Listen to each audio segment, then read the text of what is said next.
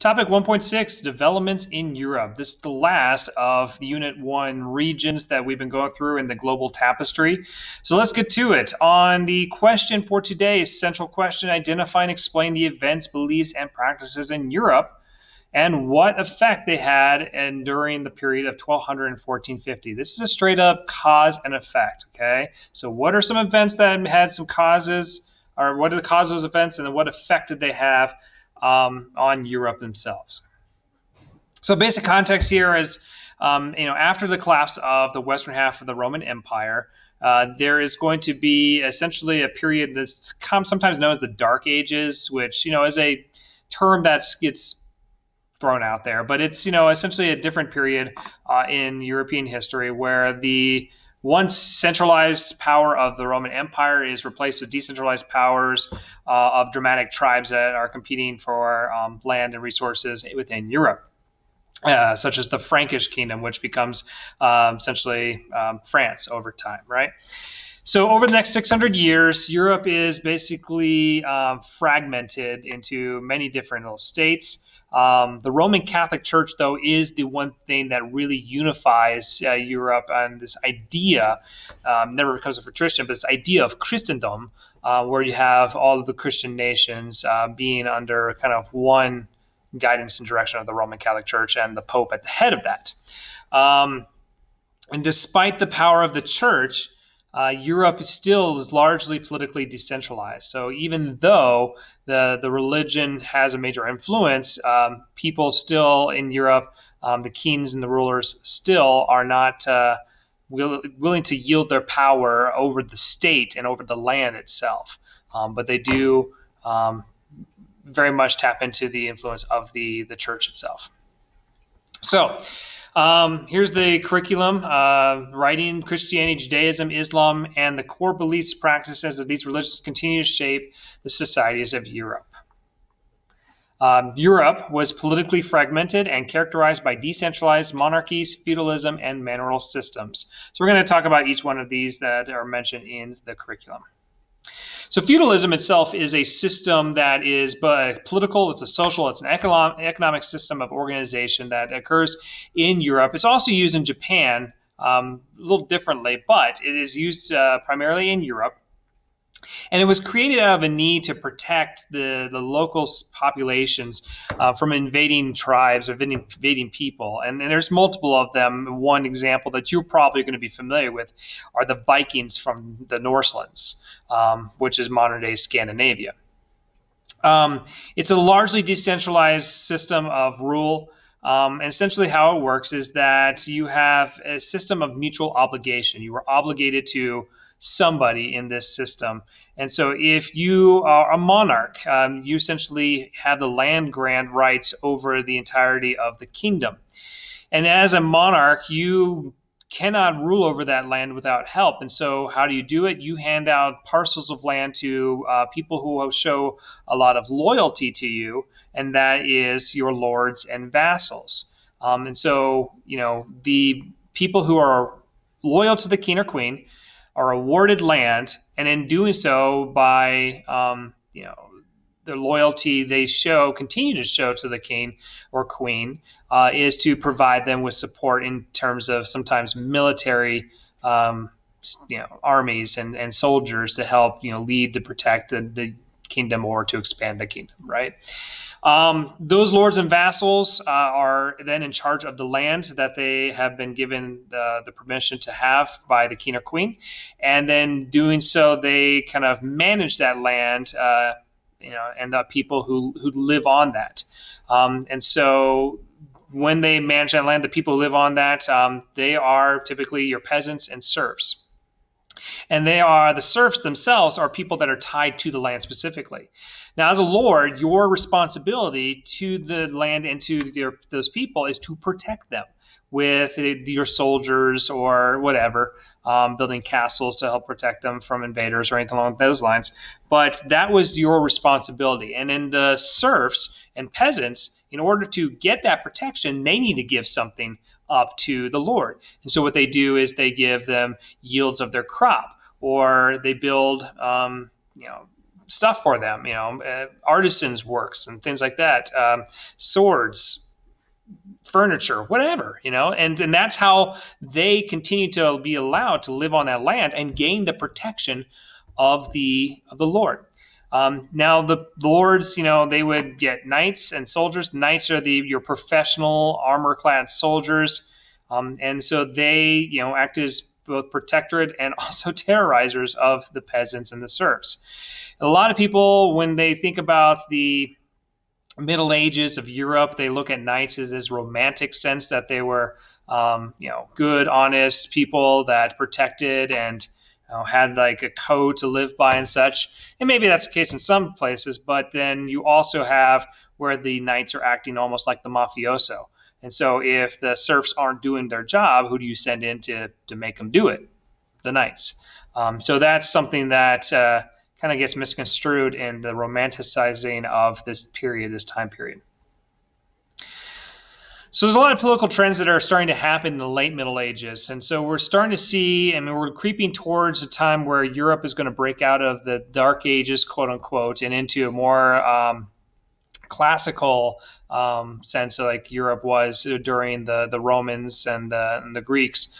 Um, but um, there are some developments that occur, and you start to see the employment of much larger bureaucracies and militaries uh, and people, uh, kings uh, and monarchs who lead them. Um, this is you know trending towards what's going to happen in Europe in the next period of history. So, some examples uh, to kind of show there's a growing sense of um, centralized government in Europe. Philip IV of France, uh, who ruled uh, from 1285 to 1314, he is going to create something called the Estates General. Um, this is something that probably doesn't means nothing to you right now, but it's something that becomes very important when we go into the future uh, and have the French Revolution because they revolt against this system. But essentially, it basically divides the society into three parts. The first part being people who are part of the royal blood and the royal family. The second uh, state um, is the the priests and the the heads of the church and so forth. And then the, the third estate is everyone else, all the peasants, all the serfs, everything like that. And while that helps him govern during that time, um, a little more um, control over the, the people and the land than he had previously, it certainly has consequences when it comes to that much later. Otto the First, um, who ends up declaring himself the emperor of the Holy Roman Emperor Empire, um, which makes up mostly of what uh, today is Germany and the Austro uh, uh Austria, and then you know this just big area right here, but it's mostly made up of kind of what we think of Germany nowadays.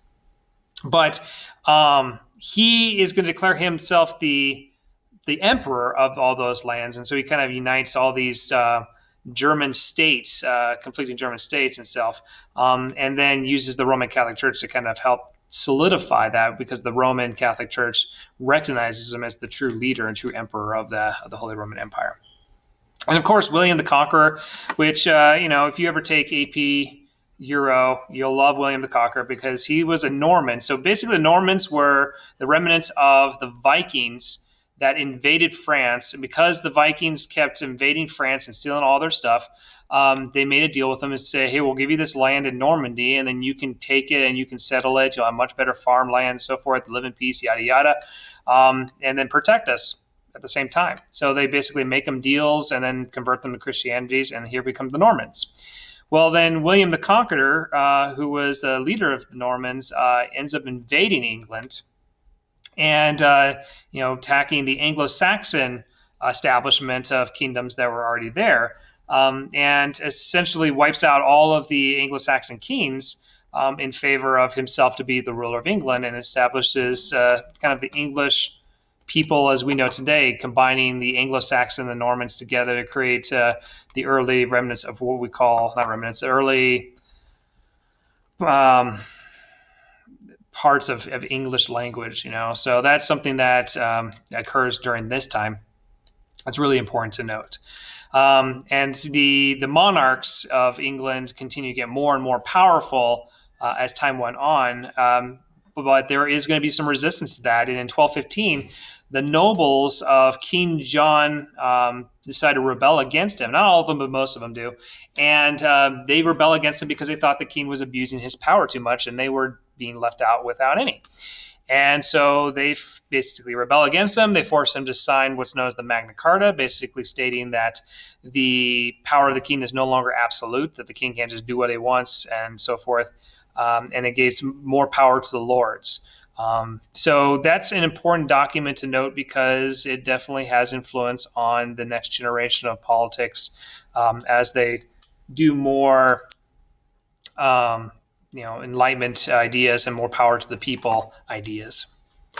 Okay, so next thing is the is just a simple overview of um, you know, social interaction and organization.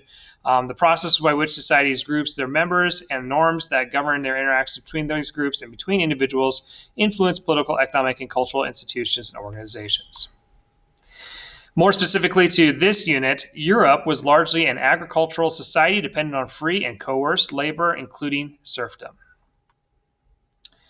So let's talk about the manorial system itself. The manorial system is uh, where you'll find those serfs and and you'll find more coerced labor and so forth. So um, these larger fiefs, these larger land grants, were commonly known as manors. Um, the manors themselves were economically self-sufficient, so everything you needed could be made or grown on the manor. Um, so the need for trade isn't as heavy in uh, Europe at this time as it was um, in previous eras or previous other parts of the world. And so, because they they have um, everything they need, or they essentially everything they think they need, um, they still need one thing that they must have a consistent supply of was labor. And so they, you know, serfs came along and such. And so once you're a serf, you're essentially in this kind of quasi slavery. It's um, you're tied to the land, and so if you were born on the land, you're tied to that land. You can't leave. You have to do the job that is expected of you, and so forth. If you want to continue to get protection from the Lord. Um, but essentially, they, the serfs, the peasants who live on this, they owe fealty and they pay their taxes in the form of goods and, and services. And that's how it works uh, in Middle Age Europe, right? Um, agricultural technology is improving a lot during this time too. Um, that's important to note because the population of the um, the world starts to increase, and Europe is starting to increase as well. Uh, they are able to use systems like the three field system uh, to where they are going to um, better manage the land in which they grow things on so that they don't dry it out of nutrients uh, you know within a generation so they would essentially kind of rotate these fields. One field would be growing wheat, which you could turn into flour, which makes bread, which feeds more mouths. Um, the second field is, you know, barley or other vegetables or whatnot. And then the third field is uh, fallow or animal grazing land. So the fallow is where, like, here's let the time for the, the land to rest, um, to get nutrients back and then where does that nutrients come from? Well, it comes in the form of animal dung. And so the cows, cattle's, whatever that they're growing on here, um, they eat, they do their business, and then it goes back into the soil and it creates nutrients and so fertilizes the land and so then they continue the rotation. So um, this is something that helps increase the production of food in Europe at this time, as well as new types of plows as, and windmills um, help make it possible to grind more um, wheat into flour and again feed more mouths. So you can see here's like an upward trend of the population of the world. Um, you know, during this time, you know, part with what's going on in Europe, um, and then this happens, and you probably some of you already know what happens there. Let's talk about it. It's the Black Death. And the Black Death uh, was one of the deadliest pandemics. It says here the deadliest pandemic, but you could argue that the smallpox pandemic uh, in the Americas was equally, or if not more, deadly. Um, but it is hard to tell. How do you tell, measure this when you don't have a record of how many people are, you know, dying? Um, like you know we do today. Even today, it's like you know, we, we probably see have more people than our what our numbers show um, with the current pandemic that we're experiencing right now. So between 25 and 200 million people died um, in the Black Death um, in Europe, in parts of Asia as well. Um, and it was devastating to the populations. So anywhere between 30 and 50 percent of Europeans' population is just wiped out. That has economic implications, political implications, social. I mean, it's just it is a takes a toll on the European people. Other events that do have important influence on Europe um, number one, the Crusades. And the Crusades were a series of military campaigns that uh, took armies from Christendom. There weren't any one kingdom at a time that uh, would partake in the Crusades. Um, I'm trying to think how many in total. It's like 14 total, but I only really, there's only really four major Crusades. And then my favorite one is the Children's Crusade, which. Um, yeah, it's a very sad story. And uh, if you want to know about it, you feel free to uh, you know, email me or um, you know we'll talk a little bit about it in class if we have time. But the Crusades themselves largely unsuccessful. The First Crusade is able to cap- recapture the parts of the Holy Land, particularly Jerusalem, for only a period about 90 years. Um, and it was and it's a short period, but the um, city of Jerusalem is still a very sacred site to other religions, including Islam. And the Seljuk Turks uh, would not be happy with and satisfied with that land uh, being under the control of Christians um, because they do not allow pilgrimage uh, to occur. Um, and so over time, the relationship between the two sides breaks down to where um, they fight again, and the Christian armies lose Jerusalem and they really don't gain it back for an extended period of time after that. But the Crusades themselves would attack different parts of um, Islam, and a lot of these Crusades, even though they're saying it's for um, religious purposes to help regain the Holy Land and for Christendom, uh, there's a lot of economic motivators there too, because of all the trade and resources that are down there. A lot of Crusaders go down there so they can make a fortune. Um, in the Crusades themselves, there's a, a lot of um, economic and cultural transfers that have a huge influence on Europe. Um, and where once they've been exposed to a lot of these new ideas, um, it helps in turn spark uh, a cultural rebirth in the um, European continent, and that is the Renaissance period. And this cultural rebirth uh, is going to be reintroduced to a lot of classical ideas from the Romans and particularly the Greeks, and a lot of other ideas that uh, were developed by both the Dar Islam as well as uh, ideas that come far as far as from um, East Asia. Paper, uh, for example, um, you know, comes from from East Asia, which was then taught to the um, Islamic world, and then in, you know, in tune it gets to the knowledge eventually ends up in Europe itself, right?